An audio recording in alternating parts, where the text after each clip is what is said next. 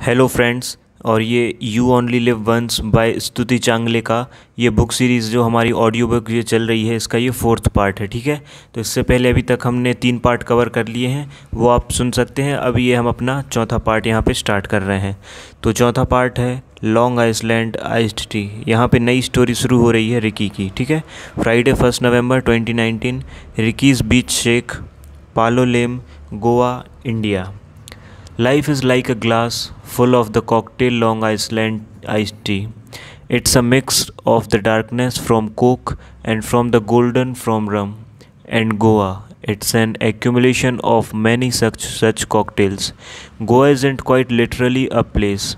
Goa is a vibe. Goa is a state of mind, and Palolem Beach is the southern district of Canacona in my hideaway away here. Palolem is adorned by hills on one and the horizon on the other side.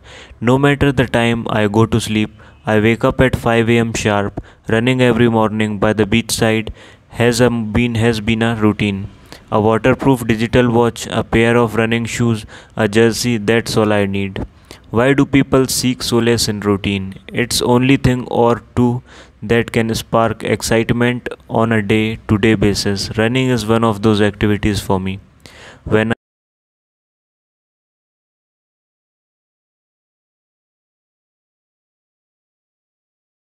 something. It gives me a feeling of achievement.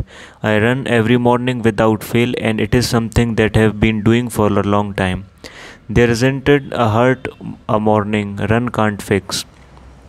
I have to shoot for the TV series Sunrise to Sunset today. It airs every weekend on National Geographic during prime time. They are touring the world and featuring the best beach shakes on the show. We are fortunate that they have picked Ricky's Beach Shake, my own, in Goa.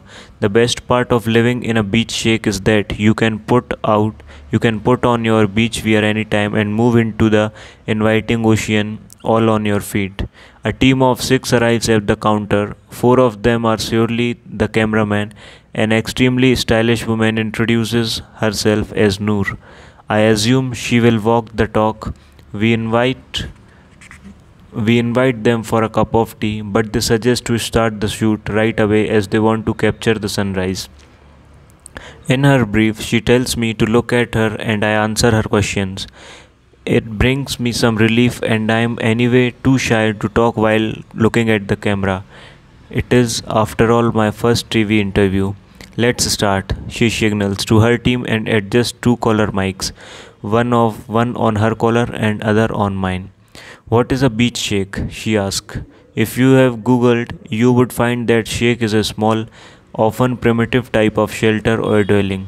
Like huts, shakes are constructed by hands using only locally available materials. However, if you ask me, shakes in Goa constitute a way of life. We construct beach shakes every year in mid October before the tourist season kicks in and dismantle them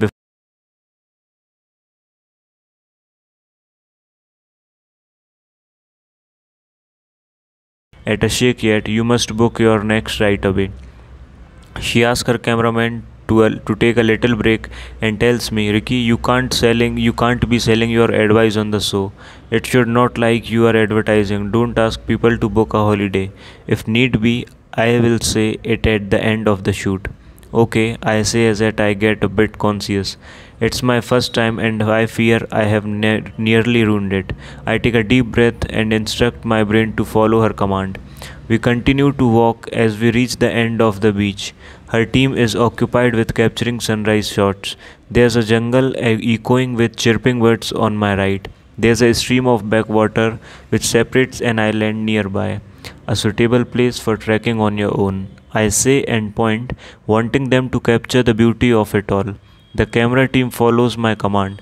How does it feel to experience the sunrise every morning? The interviewer continues as the cameras return to faces. Palolem has my heart. The sight of the sunrise, the sight of the rising sun in between the hills fills me with all energy and revitalizes my senses. Tourists often enjoy a boat ride on their own or ask the local fishermen who live by the backwaters to take them to near nearby beaches or into the jungle via this scenery backwaters. If they, be, if they wish to get the feel of staying on a marooned island for a few hours, they are taken to the nearby Canacona Island. In winters, one might just get lucky to spot a couple of dolphins in the seawater, playing and indulging among them themselves. Dolphins from places far off migrate here to escape the extremely cold winters, much like my European and Russian guests. Cut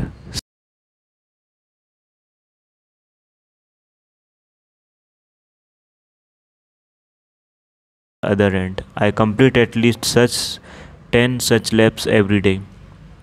The sea looks tranquil and calm today. However good the changes feels, it's not a good thing for the sea to be so quiet. The sea needs to be roar to be fine. Have you ever heard the phrase lull before the storm? What kind of storm could be on its way? How would you describe the spirit of Palolem? What brings all the guests together? All you can see, the entire coastline is dotted with multiple shakes. All after all the good, we serve as the allure of the sea. Music is what brings our guests together. During evening, the entire beach is lit up with beautiful candles that are tactfully placed on the tables arranged right at the beach next to the Arabian Sea. Every weekend, we have live music, live music performances, and stand-up comedy acts. What is the most special thing about Goa? She continues, in a hurry. It seems as if the sunrise and sunset are the two most important timings for them. When you land here, you experience freedom and peace you as you never would have before. After touring around the world for 20 years, I came to settle 3 years back in this one place I could call home. I was born and raised in Goa. You would think, why is he trying to be cool? Old fellows always retire in their hometowns, while a lot of people dream of owning a beach shake when they retire. I finally do have one. I named it after myself as I haven't met the person before than me. Ever. Okay, I'm not that self consumed, it is only a joke. I slip into broken laughter and continue. But to be honest, it was not always the plan. Exactly 23 years, 20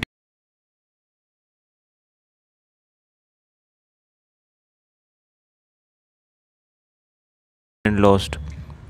The only love of my life, Alicia, had left the country with a rich and successful businessman. She probably married and settled down with, with him in Europe. I never kept contact and a year later I heard in the, I heard in the media that she died. I could never even tell her how much I love her. Oops, loved her. Maybe love her is correct. I don't know. Maybe I did tell her as much in bits and pieces, but she never reciprocated. That's the worst, worst part of life. You can't make someone who doesn't love you love you. As I answer my guest, I realize that much has changed in these past years. The sea is almost the same, but the coastline feels different now and then. Back in those days, on weekends, Eliza would sing and I would play the drums at the famous The Hippie Trails Cafe. There was no other sheikh then. Only locals and hippies knew that knew about this beach. Tourists would go on the more crowded Baga, Kelang or Anjuna beaches. THT Cafe shuts its doors permanently in the early 2000s. I bought the same land 3 years back at Ricky's Beach Shake was erected here. Alicia's Alicia's innocence was like fresh blooming lilies. Of all the dresses she wore, I remember her lilac frost the best. Alicia was this, that. Alicia is to be exactly what your first love is to you, as it remains with you. I could never move on either. Soon, five star hotels started to chase us for weekend performances, and Alicia became the voice of Goa. Goa. Her live performances attracted even Bollywood celebrities, and finally, she too received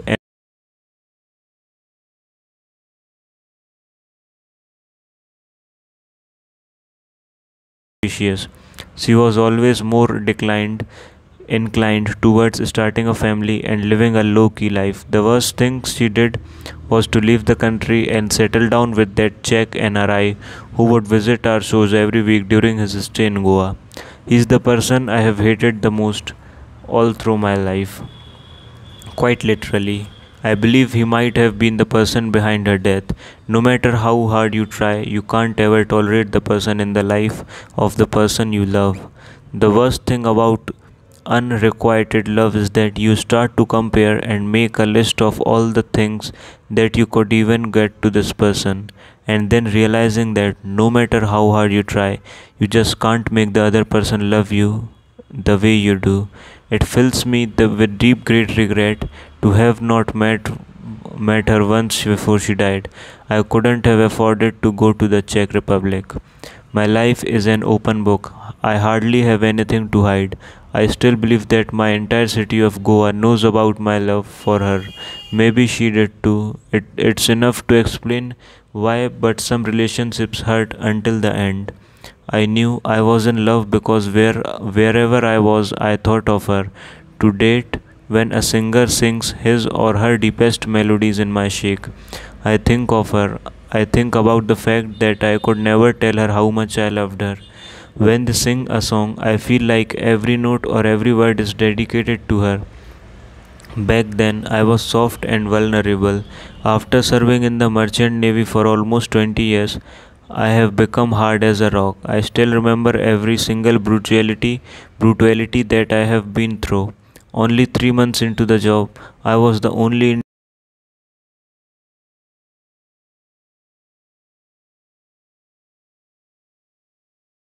fish made its way onto the deck. Lost she must have been, much like I was in those days. Pick it up and butcher it. Those are the only words in English that I ever heard my captain utter. The rest of the crew started to cheer as if I was Matador preparing to face the bull. The only difference was that it was a baby shark and I had no red cloth. My body started to shake and shiver, and much like values, as the force handed a knife to me, I started into the shark's eyes. Cold stone they were. I seemed as if the longest meet a loved one. I could see my own reflection in those eyes. I thrust the knife I thrust the knife into its belly. It was dead in an instant. Yet I passed out. Two hours later, I woke up in my compartment. The fish had been prepared and served to everyone by then. That day I knew I would never be the same again. Something in me had changed, shifted.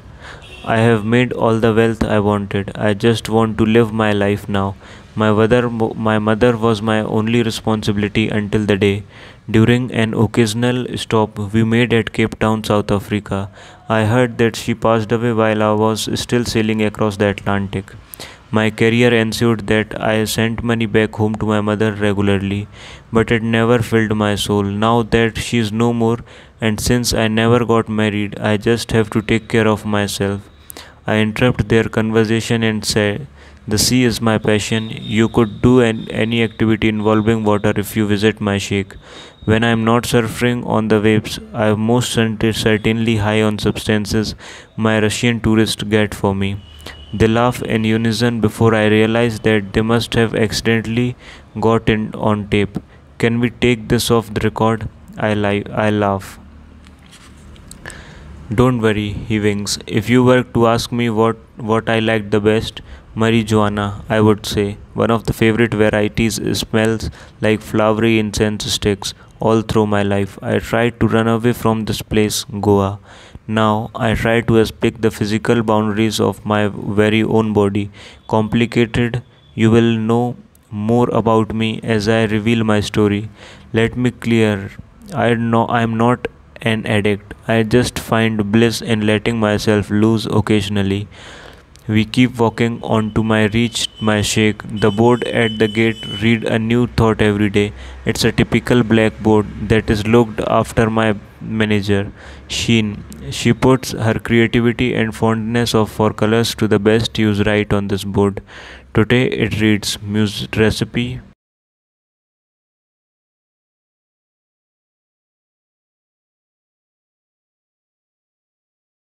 Noor alerts her team to take a close shot of the board. She continues, What's special about Ricky's beach shake?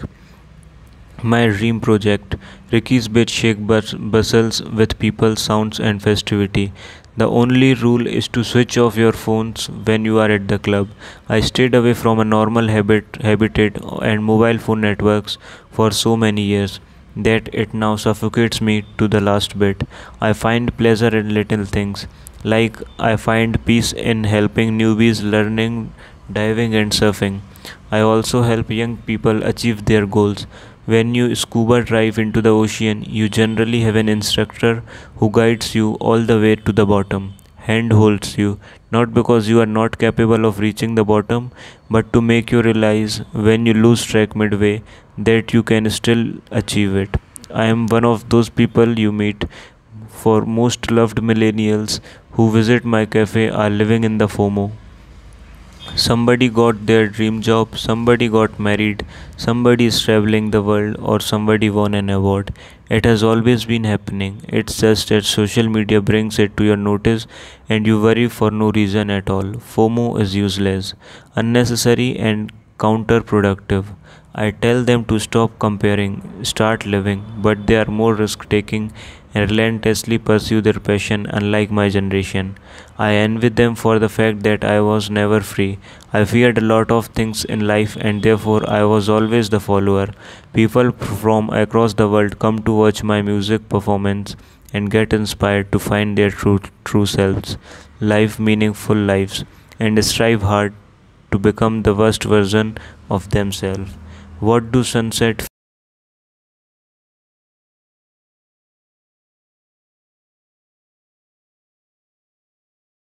as we offer a multi cuisine menu to choose from while listening to their favorite Beatles or Pink Floyd numbers playing in the background. Every Saturday brings a live performance.